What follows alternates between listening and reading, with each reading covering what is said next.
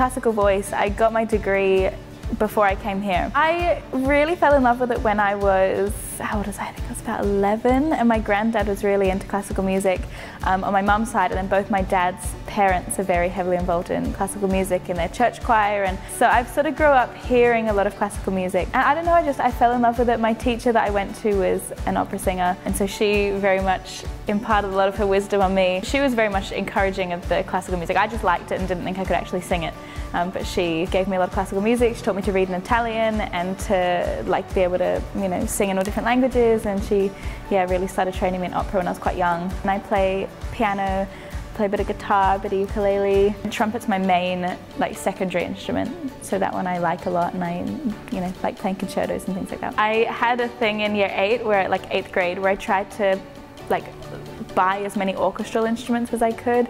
So I have a saxophone that I can kind of play. I'm really bad at saxophone. I have a flute that I can somewhat play. Um, have a clarinet. We've got like an accordion. Like we've just got all sorts in my house. It's a, yeah, it's, it's a crazy time.